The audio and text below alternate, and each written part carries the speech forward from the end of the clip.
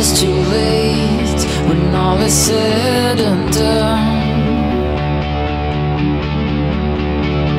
When my head is bald and my legs won't run. Will I think of all I accomplished or all I could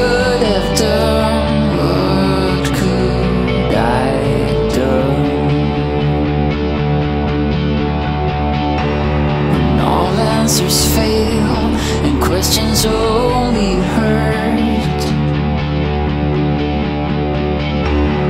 What lies ahead is shoved in the dirt. Will you show me where to go?